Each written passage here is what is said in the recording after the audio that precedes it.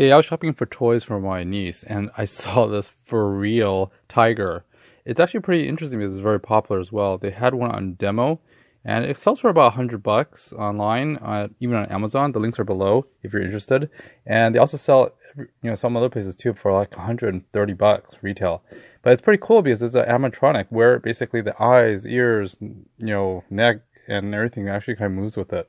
But it has sensors all over it and it has microphones as well to actually hear and react to touch and everything else. It's a pretty interesting uh, toy, um, and I think there's probably a lot of rave reviews about this thing because of the how how interactive it is. But pretty well made, and it's pretty beautiful. Uh, this is a tiger. They actually have other ones like a white tiger and a lion and everything else, but the tiger I think was the most popular.